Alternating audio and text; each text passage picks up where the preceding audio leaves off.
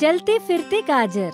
एक शांत भरी दोपहर दरबारी राज्य की समस्या पर चर्चा कर रहे थे और बीरबल वहाँ खर्राटे लिए सो रहे थे। उसी वक्त वहाँ श्रीलंका देश के एक राजदूत श्री अटापट्टू ने कदम रखा और बादशाह को हाथ जोड़कर नमस्कार किया। अकबर बादशाह की जय हो।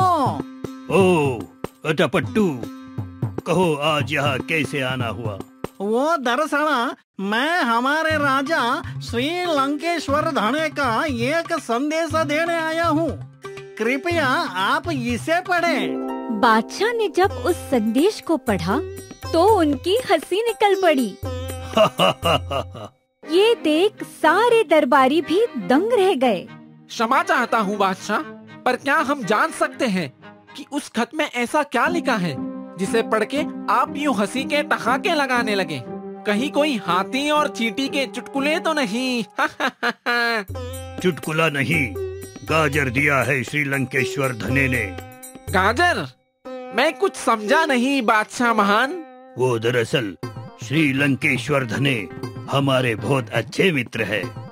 जब हम उनसे आखिरी बार मिले थे तब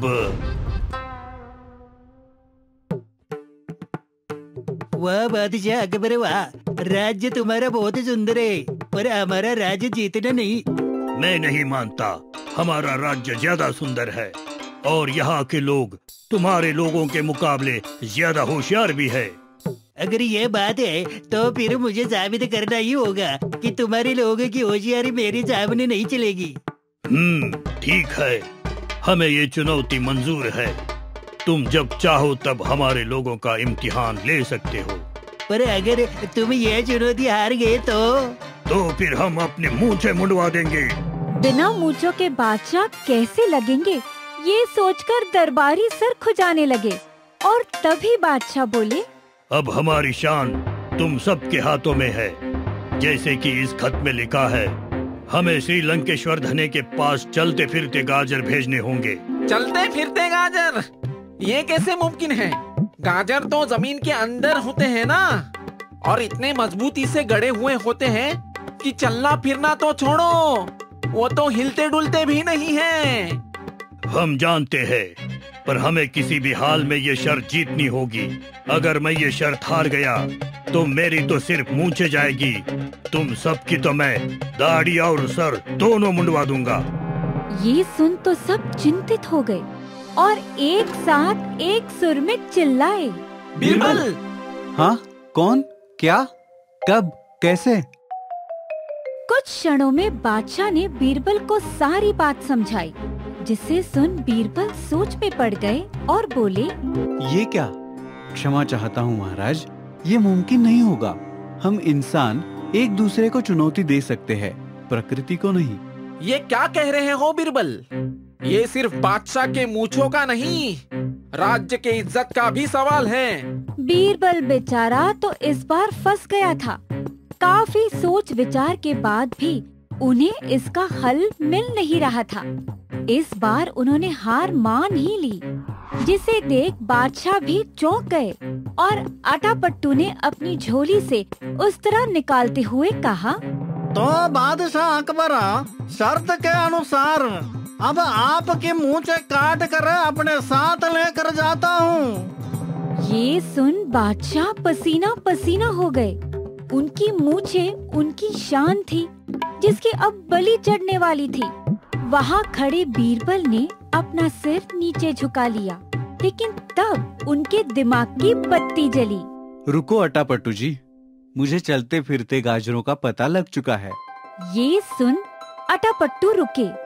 और बादशाह समेत सभी दरबारियों ने राहत की सांस ली।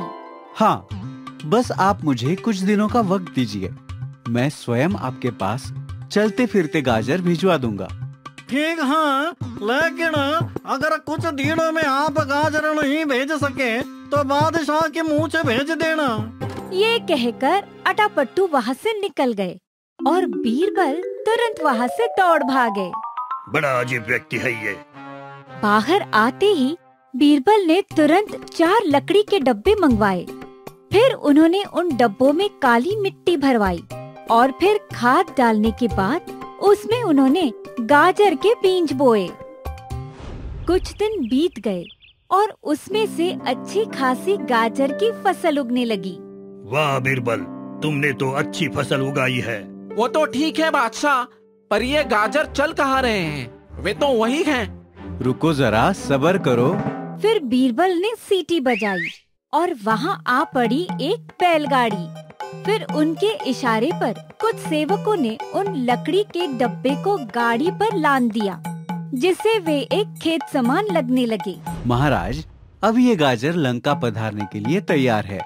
उन्हें भी तो पता चले हमारे राज्य के लोग अपनी बुद्धि से किसी भी चुनौती को पार कर सकते हैं। वाह बीरबल। तुमने हमारी मूछे ही नहीं नाक कटने से भी बचा लिया। तुम लाजवाब हो बल्कि तुम पुरुष ही नहीं महापुरुष हो। बादशाह ने फिर गाजर रथ को लंका ले जाने का हुक्म दिया और कुछ दिन बाद जब खाली रथ लौटी तो उसमें एक और खत था। जब बादशाह ने उसे पढ़ा तो वो फिर हंसने लगे। अब क्या हुआ महाराज? श्री लंकेश्वर धने का खत है। उन्होंने हमारे राज्य के लोगों की होशियारी को स्वीकार लिया है और लिखा है, अगली बार गाजर के साथ मूली और ककड़ी भी भेजना। ये सुन सब हंस पड़े और हमने ये सीखा कि सही युक्ति लगाकर मुश्किल से मुश्किल पहेली भी सुलझाई जा सकती है।